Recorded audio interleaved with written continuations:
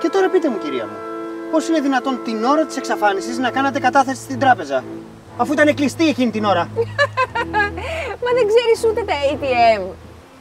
Πού είμαστε, στο 19ο αιώνα; Κατάθεση χρημάτων όλο το 24ωρο μέσα από τα νέα σύγχρονα ATM από την One Bank. Τράπεζα Κύπρου.